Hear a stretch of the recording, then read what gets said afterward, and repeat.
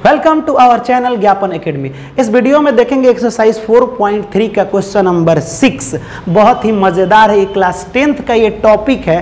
कई बार आपको एग्ज़ाम में देखने को मिलेगा। अगर वीडियो को आप स्किप कीजिएगा तो आप दो या तीन नंबर ज़रूर गंवा दीजिएगा। ठीक है? तो बने रहिए इस वीडियो के साथ और ध्यान से देखिए क्या कह रहा है। कह रहा है कि the diagonal of rectangular field is 60 metre 60 metre more than the shorter side. अगर पहले नहीं पढ़ा है तो समझ में आएगा, टेंशन मत लीजिए। If the longer side is 30 metre more than the shorter side find the sides of a field कह रहा है, ध्यान से समझिए। कह रहा है, एगो आयतकार, आयत टाइप का फ़ील्ड है। ठीक है, ये जो बोर्ड दिख रहा है ना, ये भी आयत ही है। एक आयत टाइप का फ़ील्ड है। तो आयत टाइप का जब फ़ील्ड एकदम आयत है मतलब कि चारों भुजा में ये सामने वाला भुजा बराबर होता है। ये लाइन इसके बराबर होता है, ये लाइन इसके बराबर होता है। अब कह रहा है, इसके बीच से एगो विकर्ण गया है, जिसको डायगोनल बोलते हैं। क्या बोलते हैं? डायगोनल बोलते हैं। कह रहा है, पता है डायगोनल कितना बड़ा है? यहाँ देखिए डायगोनल ई वाला लाइनवा कितना अच्छा इसमें आप बताइए, सबसे छोटा लाइन कौन सा है?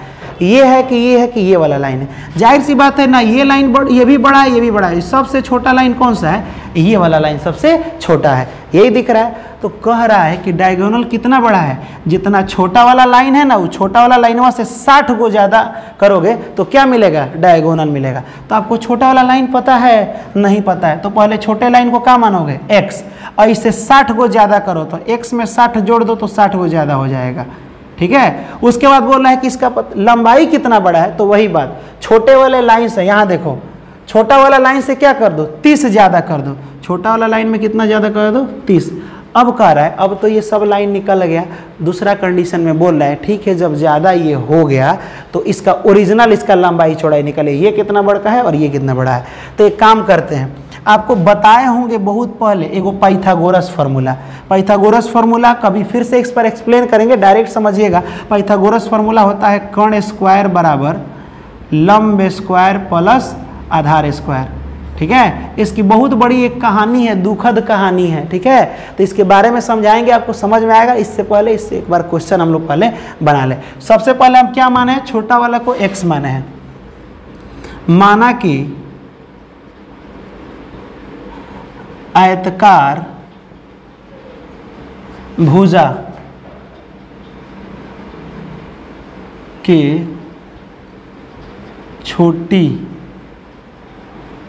माना कि आयतकार मैदान होगा ना जी, फ़ील्ड है, कि छोटी भुजा की लंबाई कितना हो जाएगा x और उसके बाद से यहाँ इसका लंबाई हो गया x और उसके बाद से इसमें क्या बोला है? लॉन्गर साइड बड़ी भुजा की लंबाई कितना हो जाएगा? बड़ी भुजा की लंबाई हो जाएगा x प्लस तीस. डायगोनल यानी विकर्ण की लंबाई. विकर्ण की लंबाई x प्लस साठ. फार्मूला लगाइए. कण इसको बोलते हैं. ये कण है. ये लंब है. लंबा इसे होता है और ये आधार है. तो कण स्क्वायर बराबर क्या होता है? प्रश्न से. देखिए यहाँ पे. प्रश्न से. कर्ण ये बड़ा वाला लाइन कैसे मिलता है? तो दोनों छोटका को जोड़िएगा तो कौन सा लाइन मिलेगा? बड़ा वाला लाइन मिलेगा, ठीक है? तो ये दोनों छोटका को, पहले ये देखिए, ये वाला कहता है कि हमारे बराबर अगर आना है, ठीक है? तो तुमको अकेले अकेले नहीं आना पड़ेगा। दोनों आदमी अपने पावर को दुगुना कर दो और तब दोनों जुट करके आओ। तो देखिए तो ये इसके अगर बराबर जाना है कर्ण के बराबर तो लंब का स्क्वायर करना पड़ेगा। ये भी अपना पावर डबल करेगा। आधार भी अपना पावर डबल करेगा, दोनों साथ में जाएगा, तब इसके बराबर होगा। कर्ण कितना है? कर्ण है एक्स प्लस साठ। लंब है एक्स प्लस तीस। आ ई है सिर्फ़ एक्स स्क्वायर है तो स्क्वायर ए प्लस बी के द होल स्क्वायर पर तोड़ दीजिए। क्या होता है? A square plus b square plus two a और बी हो जाएगा। ये भी ए प्लस बी के द होल स्क्वायर पर हो जाएगा। A square plus b square. देखिए, अगर फॉर्मूला नहीं पता है और उसका ट्रिक चाहते हैं तो कमेंट बॉक्स में उसको कमेंट कीजिएगा। बहुत मज़ेदार कहानी के ज़रिए आपको हम समझा देंगे। ठीक है? A square plus b square plus two a b और ये हो जाएगा आपका एक्स स्क्वायर ठीक है? एक्स स्क्वायर प्लस छः का स्क्वायर ये साठ का स्क्वायर छत्तीस सौ हो जाएगा। और प्लस एक सौ बीस हो जाएगा। इज़ इक्वल टू ये हो जाएगा एक्स स्क्वायर प्लस तीस का स्क्वायर नौ सौ होता है। और प्लस तीस दूना साठ एक्स प्लस एक्स स्क्वायर। यहाँ देखिए, एक्स स्क्वायर प्लस छत्तीस सौ, एक सौ बीस एक्स होगा। एगो एक्स स्क्वायर एगो कितना हो जाएगा? दो एक्स स्क्वायर हो जाएगा। अब प्लस हो, थोड़ा सा सजा के लिख दो, साठ एक्स प्लस नौ सौ। इस सबको एक तरफ़ लाए। इस सबको जब एक तरफ़ लाएँगे तो इधर कुछ नहीं बचेगा तो ज़ीरो हो जाएगा। पहले इसको उतार ले, टू एक्स स्क्वायर प्लस साठ एक्स प्लस नौ सौ। प्लस में है, सब जाएगा इधर तो माइनस में एक्स स्क्वायर, माइनस में छत्तीस सौ और माइनस में एक सौ बीस एक्स, ठीक है?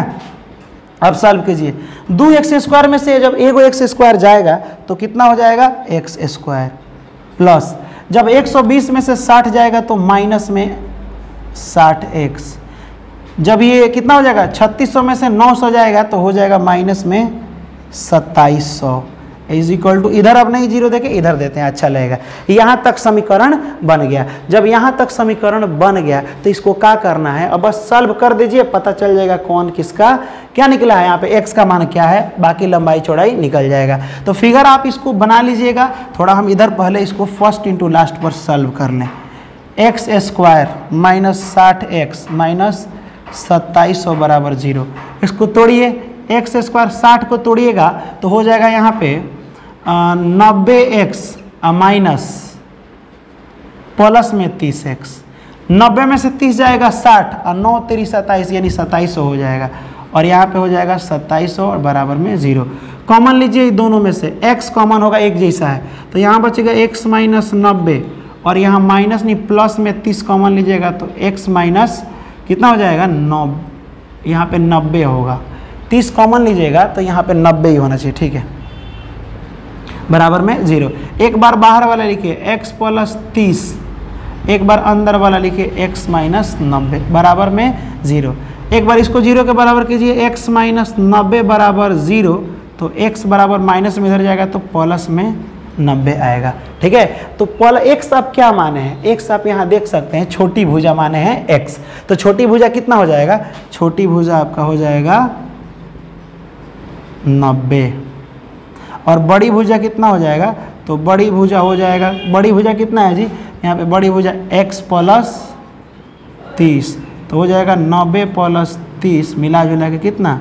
120 यही हो जाएगा, उसका लंबाई हो जाएगा 90 चौड़ाई हो जाएगा 120 तो लीजिए इसका स्क्रीनशॉट और उम्मीद करते हैं कि आपको ये समझ में आया होगा। तो फिर मिलेंगे हम लोग अगले नेक्स्ट क्वेश्चन में ज़बरदस्त ट्रिक के साथ। तब तक के लिए जय हिंद।